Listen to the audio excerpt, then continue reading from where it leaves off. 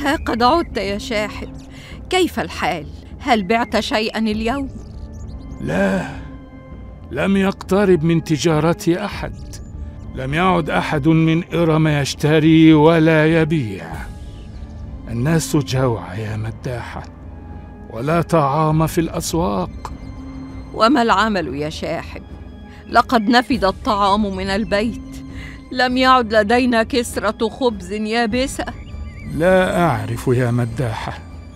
انقطعت الحيل ولم يعد لدينا شيء نطعم به أنفسنا ونسد به جوعنا.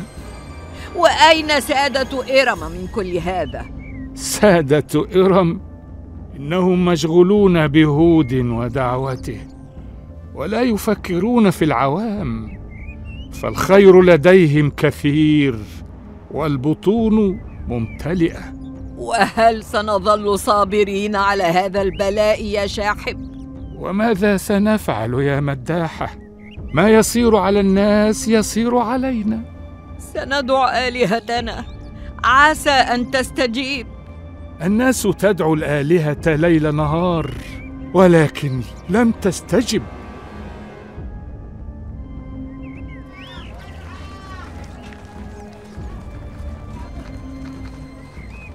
ما الذي حدث في إرم؟ أين ذهب خيرها؟ أي لعنة تلك التي أصابتنا؟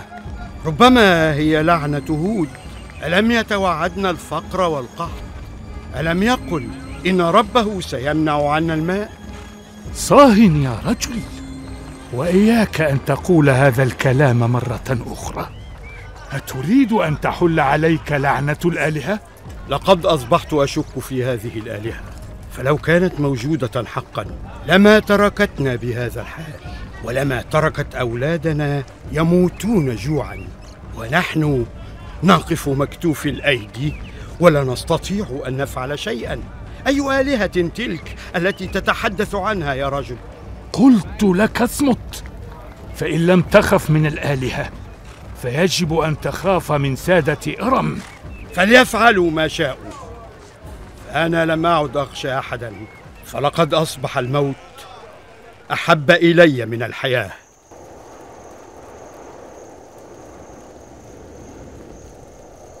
ما هذه الأعاصير يا عنز؟ هل غضبت علينا الآلهة؟ أغلقي فمك أيتها البلهاء ودعيني وشأني الآن واذهبي لتستقبلي غربان إرم الناعقة فهم يصعدون الجبل الآن في طريقهم إلينا. أي غربان يا عنز؟ عن ماذا تتحدثين؟ شداد وصدد سيطلبون الإذن للدخول علي بعد قليل. فلا تسمحي لهما بالدخول. أخبريهم بأنني في خلوة مع الآلهة ولا يمكنني أن أقابل أحدا قبل عدة أيام.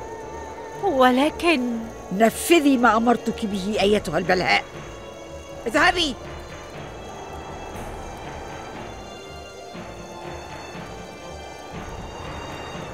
يا له من يوم عصيب. لقد حلت علينا لعنة الآلهة يا صدد. أنا ما عدت أثق بهذه الكاهنة يا شداد. كلما نظرت إلى عينيها أيقنت بأنها كاذبة. ولكنها الطريق الوحيد للوصول للآلهة يا صدد. فما يحدث بإرم لم يحدث لها من قبل. أرجو أن ترشدنا لشيء ينفعنا هذه المرة. التحية على خدام صمود. من؟ من بالخارج؟ نحن سادة إرم. مرحبا سيدي شداد. مرحبا سيدي صدد. باركتكما الآلهة. مرحبا يا جارية. أبلغي سيدتك بقدومنا. ولكن عنز معتكفة الآن. تناجي الآلهة. وهذا ما جئنا من أجله. فأخبريها بقدومنا. لا لا لا لا لا. أستطيع سيدي صدد. فغير مسموح لأي أحد حتى أنا بقطع الخلوة. إذا دعينا ندخل إليها. بسم الله الرحمن الرحيم. كذبت ثمود وعاد بالقارعة فأما ثمود فأهلكوا بالطاغية وأما عاد فأهلكوا بريح صرصر عاتية. سخرها عليهم سبع ليال وثمانية أيام حسوما فترى القوم فيها صرعا كأنهم أعجاز نخل خاوية فهل ترى لهم من باقية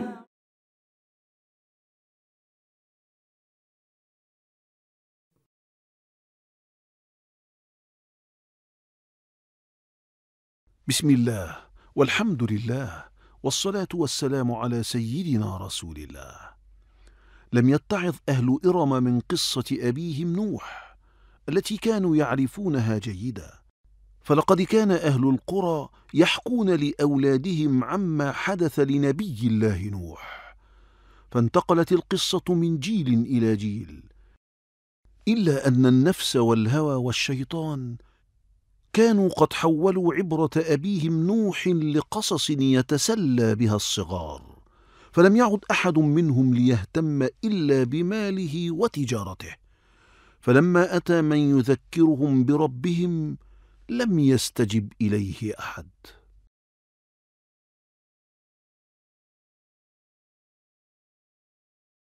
لما قطعت علي خلوتي يا شداد؟ لم نكن لنأتي إلى هنا في مثل هذا اليوم العاصف. ثم نعود دون أن نلقاك يا عنز. وما الذي أتى بك في يوم مثل هذا اليوم؟ ألم تشعر بغضب الآلهة؟ يهز أركان الأرض؟ شعرنا جميعا. فوجب علينا أن نعرف لماذا هذا الغضب. ما الذي فعلناه؟ لنستحق مثل هذه اللعنات من الآلهة العوالي.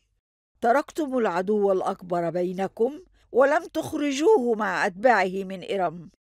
حاولنا ولكن الأمر لم يفلح معه.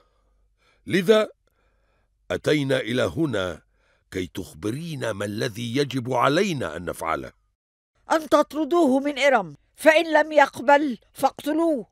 هذا ما سيطفئ غضب آلهتنا العوالي. هذا فقط. هذا قول صائب منك يا عنز يبدو أن هودا لم يجعل أمامنا خيارا آخر.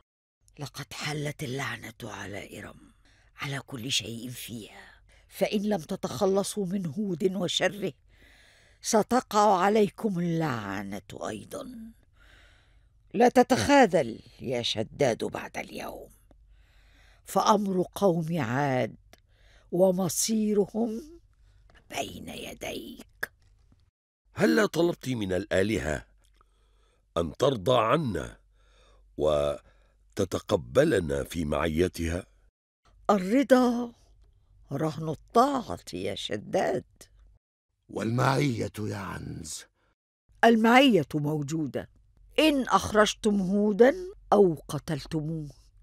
افعلا ذلك وستحفظكم الآلهة من كل سوء. فإن لم تفعلا فلا تلومان إلا نفسيكما. ولكننا أردنا البركة من الآلهة و كف حديثا يا شداد وخذ صاحبك واذهب إلى دمدم فهو الوحيد القادر على تخليص إرم من هود. اذهب الآن. ودعاني وحدي في خلوتي.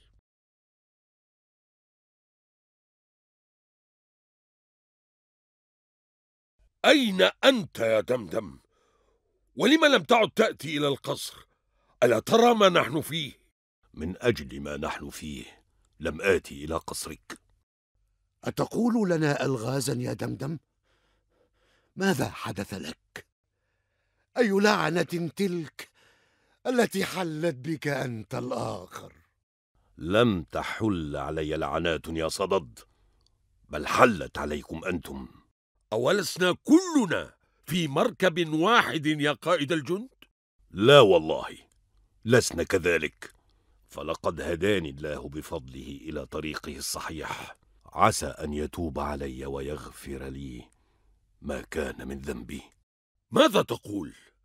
هل جننت يا دمدم؟ أسحرك هود مثلما سحر الآخرين؟ والله ما قال هود إلا الحق. بل وإنكم تعرفون أنه الحق. إلا أن ما جاء به هود كان سيجعله سيدا عليكم.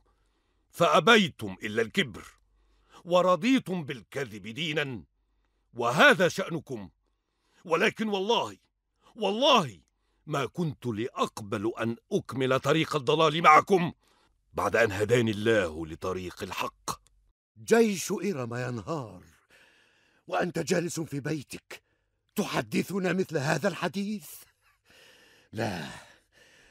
ارجع لعقلك يا دمدم. ارجع لعقلك ودعك من هذا الهراء حتى لا يطالك عقاب الآلهة. دعك مما قلت يا دمدم ونحن سننسى هذا القول السفيه. هيا معنا هيا. فإرم في أمس الحاجة إليك. يبدو أن عقولكما قد خربت والقول اللين لن يفلح معكما. اذهبا! اذهبا أيها الأحمقان من أمامي وإلا قسما بمن هداني إلى صراطه المستقيم لأقطعن رقابكما وأعلقها على باب هذا البيت. اذهبا! لا لا. هذا قول رجل مسحور لا محالة نعم مسحور. سحره هود. غلق النوافذ يا رمل فإنه غضب الآلهة لا محالة. آه أي لعنة تلك التي حلت بإرم؟ وهل هناك غيره؟ إنه هود. لقد أغضب الآلهة فنزلت لعنتهم علينا. إن كان هو من أغضب الآلهة فلما تنزل غضبها علينا يا امرأة؟ لقد بارت تجارتنا وسلعنا وزاد القحط والجوع. كل ما جمعته من ذهب لم يعد له قيمة يا رمل. فما عاد الذهب يشتري لنا كسرة خبز يابسة. أخشى أن نموت من الجوع يا رمل. إن ظل الحال على ما هو عليه فسنموت من الجوع لا محالة. هذا سخط عظيم. يجب علينا أن ندعو الآلهة يا رمل. ومتى دعوناها من قبل يا امرأة؟ حتى ندعوها الآن. صدقت. فنحن لم نهتم يوما سوى بكنز الذهب والفضة. ونحن الآن لا ينفعنا هذا ولا ذاك.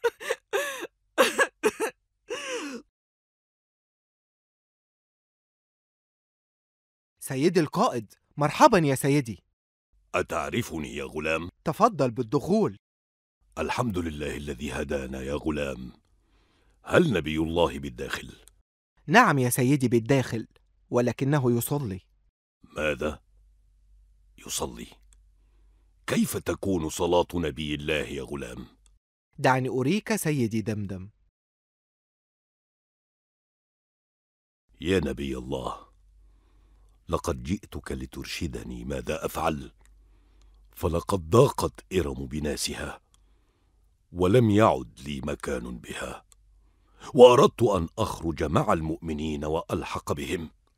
أخبره نبي الله هود بأنه لم يحن وقت الرحيل ومن الآن سيرافقه حتى يأذن الله لهم بالخروج من إرم فقال دمدم فرحا.